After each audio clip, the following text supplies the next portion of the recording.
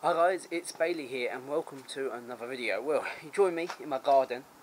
A construction site at the moment, we're slowly working on turfing it, but you don't need to know that. Um, this video is all about BFS pitch casting and learning how to do it. Those who have watched my videos know I'm not great at casting, just normally underarm it. Um, so yeah, we're going to practice pitch casting. We're going to go from zero to hero, hopefully, and you guys are coming along with my journey. Catch you in a bit. Oh, well, alright then guys.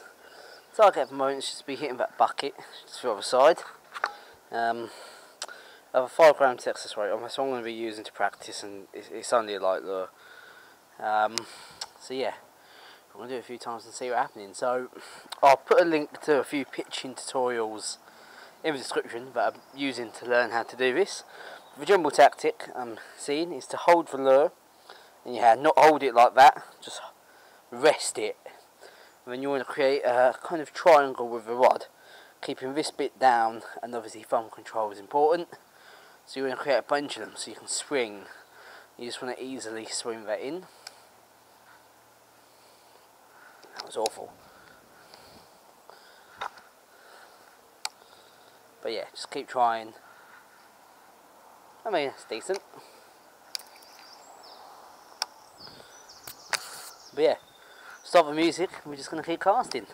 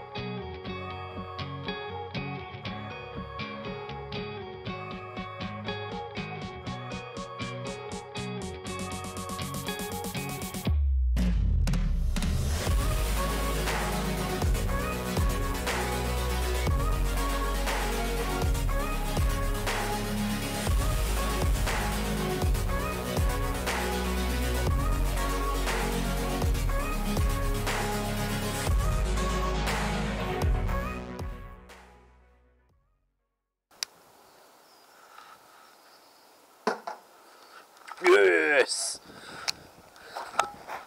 Alright guys, that's the end of day one of practicing. Few dodgy ones, few decent ones. Overall, not too bad on to day two.